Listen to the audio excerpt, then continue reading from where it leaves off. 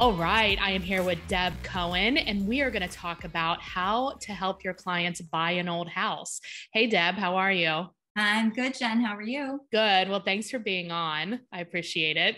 Um, thanks for having me. So you're with Coldwell Banker in Connecticut and Massachusetts, but you also specialize in older homes. Can you give us a little bit of context about about that? Sure. Um, you know, I'm just really passionate about older homes, older architecture, and I share about that quite a bit on my mm-hmm. social media. I also live in a home that was built in 1800.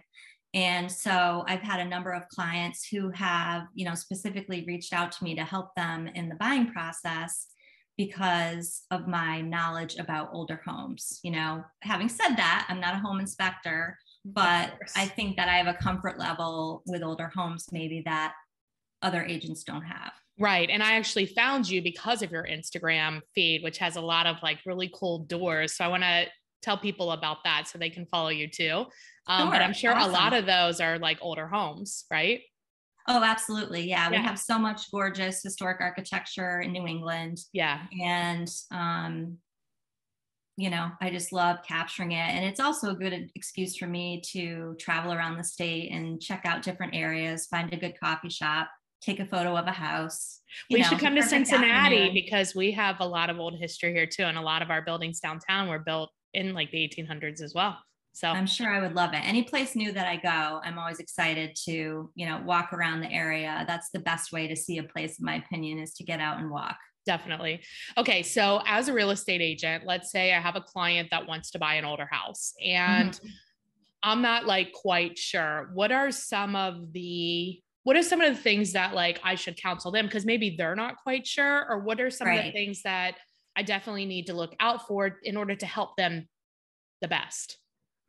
I mean, I think one thing to be honest is I mean, you're always going to pre-qualify your buyers, obviously, in terms of their ability to get financing, mm. um, in terms of you know what what they have available for a down payment and so on. Right. But I think that especially with younger buyers or maybe first-time home buyers who are interested in buying an older house, part of the conversation really needs to be about do you understand the reality of living in an older home and what it takes to keep repair it up and maintain, keep it up.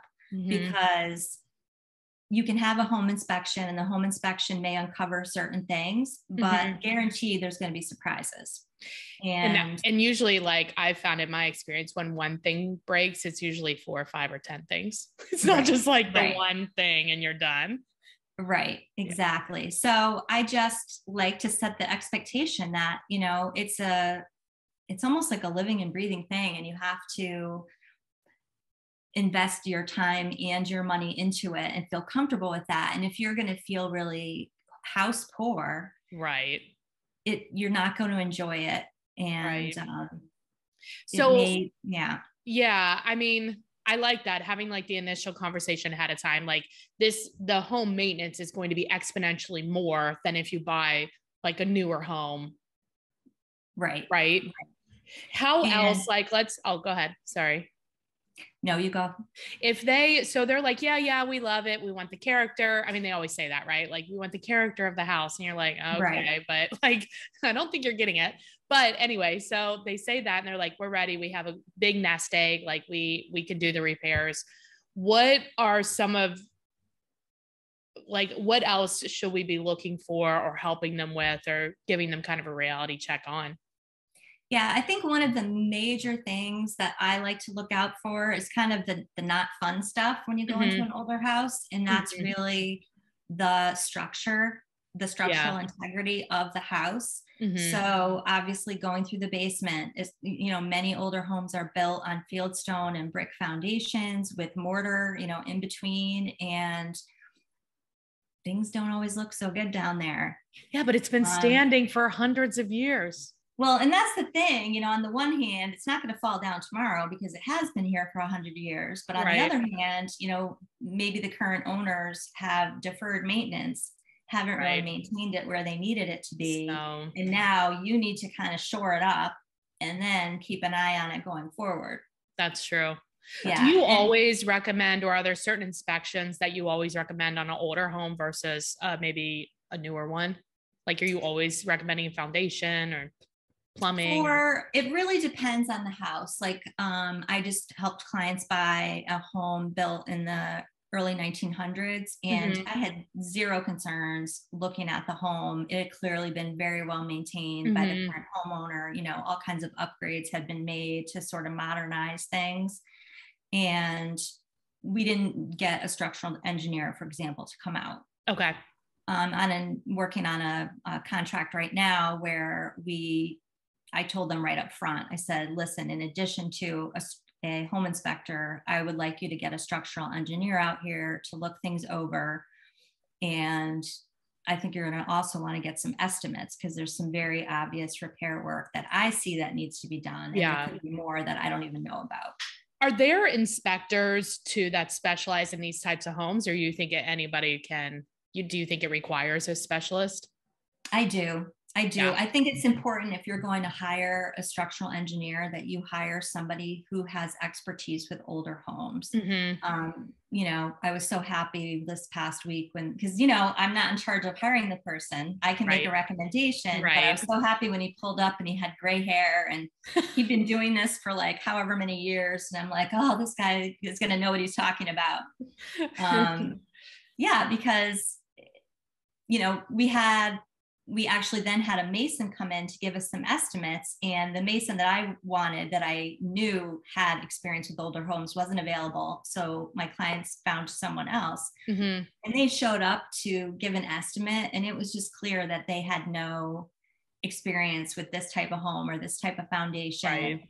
and the advice they were giving i was like this just doesn't sound right you right. know so that's the thing too is you I mean, certain contractors, yeah, like a plumber's a plumber, and you're going to be able to get them to come in and, and, fix things up. Sometimes they may need to order parts that aren't as commonly available, mm-hmm. but um, for for for the structural stuff, you really want to try to find someone with that expertise. Yeah, but you're right. I mean, older homes, you have to worry about repairs, and and you're bringing up a good point too. Like the windows may not be a normal size, the doors are not a normal size, like nothing is level, like right. all of these things that people don't really think about but they like you know they like the really high ceilings. Well yeah but that does have an effect on your utilities you know? Right. and many older homes are not insulated Right. You have plaster. Or you know, the seller's like, you know, yes, insulated, but I don't know what it's insulated with, and I don't know where it's insulated. You know, we actually had a pretty cold winter last winter because we have determined that our house is not fully insulated. So oh, no. that's gonna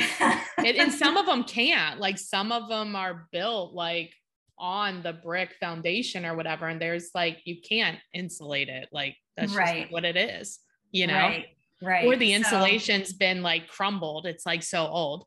Yes for sure. And you know there's nothing worse in my mind. Like i feel like if you're going to buy historic property and i'm a purist i admit it but if you want to come in and replace all the windows and make them new then it may not be for you. It may not be for you because they you know they're not going to work perfectly they go right. up and down but maybe they stick a little bit or maybe you need to put a stick under one side to hold it up um, mm. but you know old windows are still good as long as the wood isn't deteriorated and there are things you can do to make them more energy efficient i mean just for the wavy glass alone right I want to keep them. So, you know, it's it's hard when I see somebody who likes the idea of living in an older home, but then they talk about, you know, taking out certain features that make them what they are. Right. Exactly. No, I totally get it. Well, tell us about um because I found you on Instagram. Tell us about your Instagram page and how people can find you. Sure. Um, you can find me on Instagram at the front door project. And I've been running my account now for quite a few years, even though I've only been in real estate for a couple years. But I have a big focus on um, beautiful homes, historic homes, homes with great curb appeal. Um, I'm very interested in historic preservation. You are definitely destined to be a real estate agent. I feel like yeah, yeah. And I, I love working with, I love the homes, obviously, but I also really enjoy working with people too. And yeah. I've learned in real estate, it's much more about the people than it is about the actual right homes themselves. So, yeah. Exactly. Cool. Well, I really appreciate you being on, Deb. Thank you so much. Is Instagram the best way to get a hold of you, or do you have another way? You can also text or call me at 860 461 5930. I'm in the uh, Hartford, Connecticut area, and I'd love to help you out. Perfect. Thank you. Thanks.